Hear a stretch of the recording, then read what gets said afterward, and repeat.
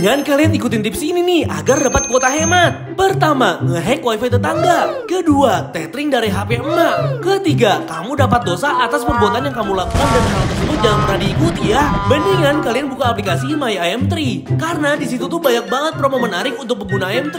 Selain itu, harga kuotanya lebih terjangkau dan dapat lebih besar. Dan ternyata di aplikasi ini selain bisa beli paket internet, kalian juga bisa beli loh omongan pedes temen kamu yang suka bilang tethering dong, pelit banget sih nggak boleh minjem internetnya. Bercanda deng. Kalian juga bisa loh bayar tagihan, cek dan isi pulsa serta cek kuota.